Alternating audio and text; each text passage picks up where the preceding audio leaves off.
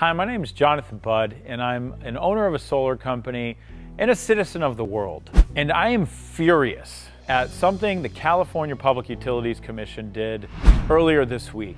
They proposed a new structure for all homeowners that want to go solar under the net metering rules that would essentially eliminate the entire value of going solar and 100% protect the profits and monopoly of the utilities business model.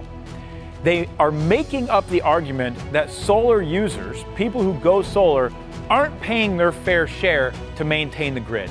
And we know for certain that this is an absolute lie because countless studies have been done showing that solar users are actually adding enormous value to the grid. Just in 2018 alone, the amount of people that went solar in California offset over 21 of these projects that would have needed to be built and 100% would have been passed on to you.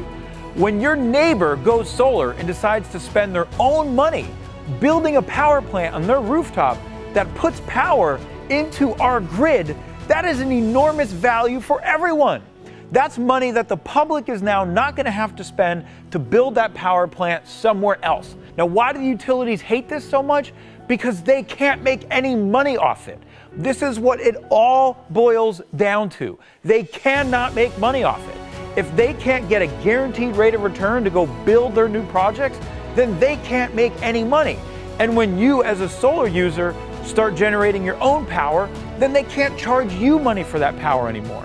So why would they think that we are so stupid that we are going to buy this argument that people who go solar need to pay $60 a month on average just to access the grid and that instead of getting compensated one kilowatt that we put into the grid and one kilowatt back, we should get compensated one fifth or one sixth of the value of the energy we've paid for, we've built, and we're putting into the grid.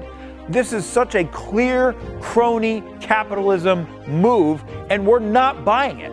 The people are not that stupid.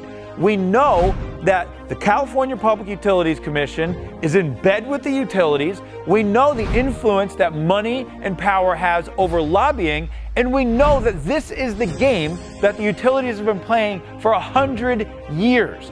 When you can't win and you can't compete in the free market and you can't deliver consumers a product that is valuable, what do you do? You try to win by lobbying and behind door deals and policy changes and all the bullcrap that they are doing right now that is threatening over 60,000 people that work in the solar industry and even worse, our fundamental right to produce energy. This is literally saying that we as consumers do not have the right to produce our own energy.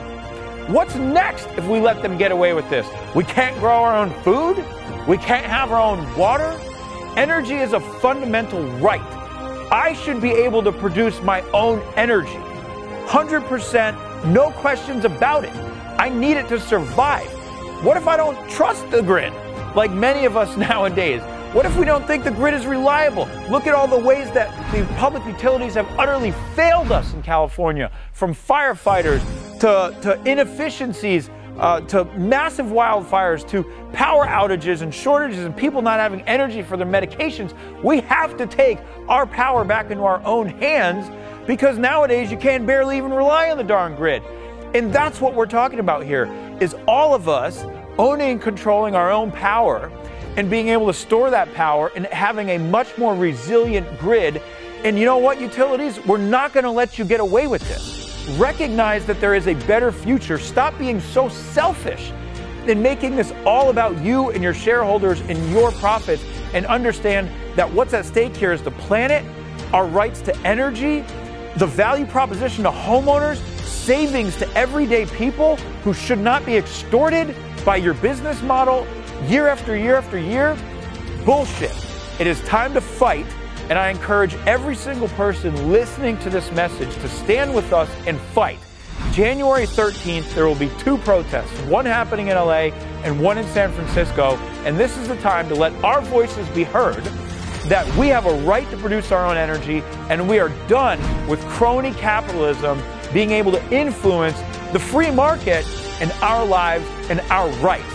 So stand with the solar industry, stand with the 60,000 men and women who work in this industry, stand for the planet and everything that's in stake. We need you, and this is the time to show the utilities and the world that the people mean business and they will not be able to mess with our right to energy ever. We will never stand for it, and the time to make our stand is now. Join us January 13th. Please write the governor of California. Let him know you stand with the solar industry.